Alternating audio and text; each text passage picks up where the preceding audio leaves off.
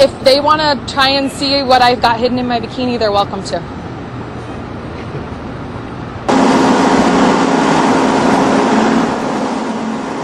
Here, ma'am. This way, please.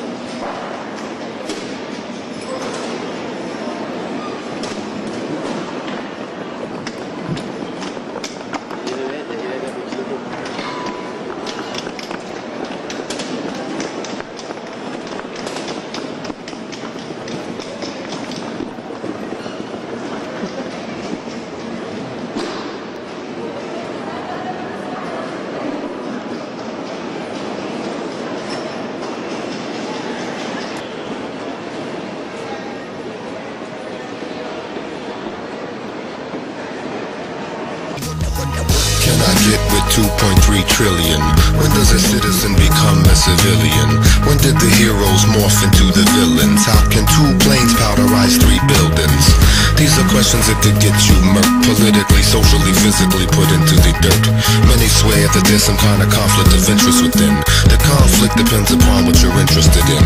You can chant 9-11 was an inside job. All day until you say the Mossad. And pay closer attention to Flight 175 And the odd cylindrical pod beneath the fuselage Then it's 2 plus 2 level addition After you factor in the flight termination systems And flashback to the cash the good rabbi stole. September 10th style, right down the rabbit hole. What can I get with 2.3 You can get unlimited corporate news what, what, what can I get with 2.3 You can have any mercenaries you choose. What, what can I get with 2.3 trillion? You can a couple million souls. What can I get with 2.3 You can get everything under control. The missile they hit the Pentagon with was not an act of randomness. It murdered accountants, bookkeepers, and budget analysts. That side of the building was retrofitted prior to this. To withstand bomb blast and nickname the catcher's mitt If that don't give you some kind of clue why they blew the mortar You should probably take some medication for your new disorder. If buildings are burning, don't ever trust a news reporter With 267 stories of gruesome slaughter. Don't ever mention Dov Zakheim and trillion stolen Much less missile-equipped Boeings even remote controlling. With System Planning Corporation International. The folks to see if you got some buildings you'd like to crash into. But that's impossible without the proper capital. That's why I'm asking you what you would do with unimaginable wealth. So much money you can't delve in it. Enough to buy five presidents and 12 senates. What can I get with 2.3 You can get unlimited corporate news what, what, what, what can I get with 2.3 You can have any mercenaries you choose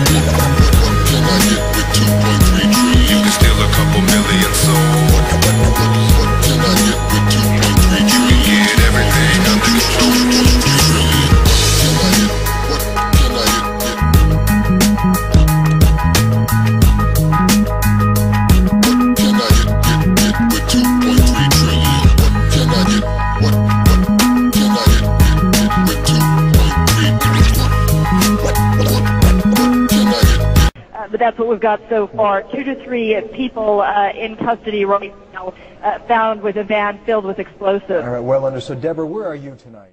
And word late tonight that two suspects are in FBI custody after a truckload of explosives was discovered around the George Washington Bridge. That bridge uh, links uh, New York to New Jersey over the Hudson River. Whether the discovery of those explosives has anything to do with other events of the day is unclear, but the FBI has two suspects in hand, said the truck Uh, load of explosives, enough explosives were in the truck to do great damage to the George Washington Bridge. But they arrested the two suspects and they're questioning them as we speak.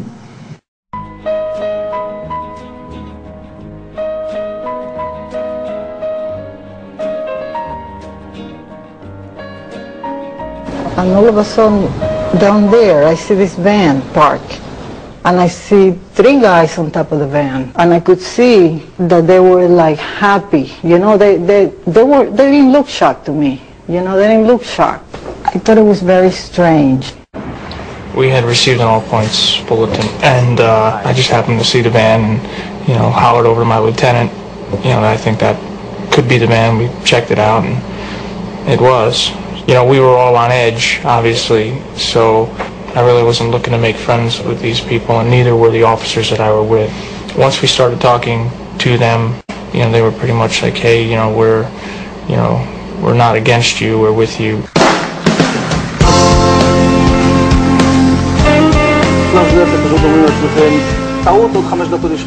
And at that point, we were taken for another round of questioning, this time related to our allegedly being members of Mossad.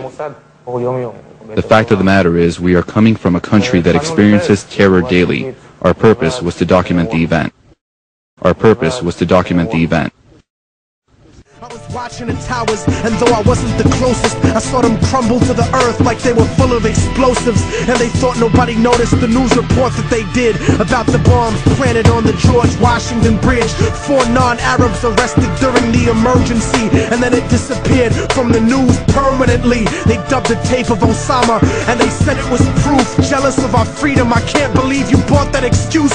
Rocking a motherfucking flag don't make you a hero. Word to ground zero, the devil crept into heaven. God overslept on the seventh. The new world order was born on September 11th.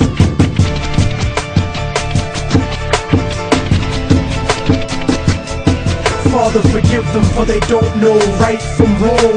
The truth is set you free, written down in a song.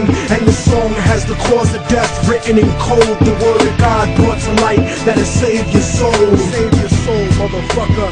Save your soul. Just so conservatives don't take it to heart, I don't think Bush did it, cause he isn't that smart. It has been more than 16 years since a civilian working for the Navy was charged with passing secrets to Israel. Jonathan Pollard pled guilty to conspiracy to commit espionage and is serving a life sentence. At first, Israeli leaders claimed Pollard was part of a rogue operation, but later took responsibility for his work. Now Fox News has learned some U.S. investigators believe that there are Israelis again very much engaged in spying in and on the U.S., who may have known things they didn't tell us before September 11th. Fox News correspondent Carl Cameron has details in the first of a four-part series. Since September 11th, more than 60 Israelis have been arrested or detained, either under the new Patriot anti-terrorism law or for immigration violations. A handful of active Israeli military were among those detained, according to investigators, who say some of the detainees also failed polygraph questions when asked about alleged surveillance activities against and in the United States. There is no indication that the Israelis were involved in the 9-11 attacks, but investigators suspect that the Israelis may have gathered intelligence about the attacks in advance and not shared it. A highly placed investigator said there are, quote, tie-ins, but when asked for details, he flatly refused to describe them, saying, quote, Evidence linking these Israelis to 911 is classified. I cannot tell you about evidence that has been gathered. It's classified information. Well, I won't argue that civilization meant something different in the past, but uh, if we're to live in the 21st century, I say we define it correctly. To me, civilized means uh, not indulging in acts that would be counter to the values that reflect are reflected by the majority of people. The American people themselves are not necessarily barbaric, but the policies of America are in fact barbaric. They're uh, war crimes, they're crimes against humanity. What I see in America, really, uh, coming from the American perspective, is manipulation after manipulation, indoctrination feeding into that, and a propaganda machine that gets the result that's intended. America has lived off of war, and Eisenhower famously said, beware of the military-industrial complex. We can go back to the sinking of the Lusitania, which was a very predictable uh, occurrence when we sent that ship into the waters that were known to have German U-boats. After it sunk, the American people went into a war that they really wanted no part of. Shortly after that, we had World War II. The American people, again, wanted no part of it, and yet Franklin Delano Roosevelt was fully aware of the coming attack by the Japanese fleet and made sure that they would incur maximum casualties on that day. Once again, the American people yes, manipulated but even into without war. Pearl Harbor, America would have been dragged into that war because Hitler declared war on America rather than it being the other way around. It's inevitable that And America that go into World War II. But are you saying that, are you what saying, I'm saying is that the American president knew about a fleet coming to kill American soldiers, sons and daughters, and that he allowed that to happen, and in fact made sure that American sons and daughters were murdered needlessly. Ken. Well, we, we are in a perpetual state of war now, aren't we? Uh, whether we go back to the overthrow of Mossadegh in Iran, uh, CIA coups in Central and South America, We can go back to the Gulf of Tonkin incident, which is acknowledged to be an absolute lie at this point. How about the USS Liberty, in which Israel, America's ally, attacked a U.S. Navy ship for hours and killed 34 U.S. sailors? The Sixth Fleet was then called back. Defenses of that ship were called back by McNamara and Lyndon Johnson. These are all established facts covered up. That was intended to bring us into the Six-Day War and attack Egypt and have the first uh, invasion and occupation of those lands in that time. We have since then had other occurrences such as 9-11, which is the be-all end-all of manipulation, to buy into the notion that Osama bin Laden and 19 hijackers are responsible for this event is the height of lunacy. It is the most ridiculous conspiracy of all, and it is the excuse for this so-called war on terror, which is in fact a war of terror, committing state-sponsored terrorism to the tune of one million dead Iraqis and counting, millions of orphans, and millions of refugees, never mind Afghanistan, and now attacking Pakistan as well. Sorry? Who is responsible? Absolutely inside job. The U.S. government and intelligence agencies, including Mossad, including the Mossad agents who were in Liberty Park, who were told to go and capture the event on cameras and admitted to it in Tel Aviv on Israeli television. They obviously had foreknowledge of the so event. the Israelis are the ones who... The Israelis and the Americans, they could not have done it without the government and the inside wow. job that well, was required. obviously... Can you uh, give us an insight into the disparities? When it comes to the people, those that are the backbone of America across the spectrum, then America is not a nanny state, and that's what uh, the politicians say. When it comes to the bankers, a trillion dollars is brought to bear for the bankers to save them. When it comes to war and the war-making industries, plenty of money can be extracted from the American taxpayer to fund war. But when it comes to taking care of its own people, there is destitution, poverty, hunger, tremendous injustice. Home of the Free has, I believe, the largest prison population in the world, if not certainly one of the biggest prison populations in the world. The working class people are being used up, exploited, sent off to wars, and yet the American government continues to claim that it can't take care of things back electorate... home. It's all part of a game, again, that uses us, working class people, as pawns. Do you and think... we'd be wise to, to face up to it and realize it. Do you think the American electorate would support uh, higher taxes that are needed to correct this distribution? No, we don't need to raise taxes. We need to stop fighting wars halfway around the world based on lies and investing insane amounts of money in policies that equate to mass murder. If we do that, all that money would now be freed up for the American people. We don't need to give the bankers a trillion dollars. Those are the same people that are running our economies into the well, ground, living high Robert on the hog. So we don't need to raise taxes. We could lower taxes mm -hmm. and take care let of people. Let me bring Robert in. America in decline anytime soon?